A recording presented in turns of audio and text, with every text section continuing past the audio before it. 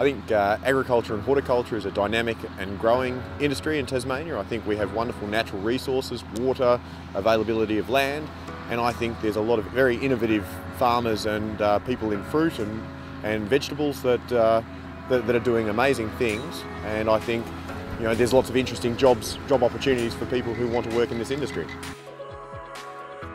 We're a predominantly berry farm. A lot of it's seasonal, so we have uh, maybe up to 120 people in the peak of the summer season in the harvest. And about seven or eight are full-time casual people working on the farm, and that includes mechanics, tractor driver operators, machine drivers. There's also a lot of, of course, seasonal picking jobs as well. You know, pruning, weeding, all those sort of activities.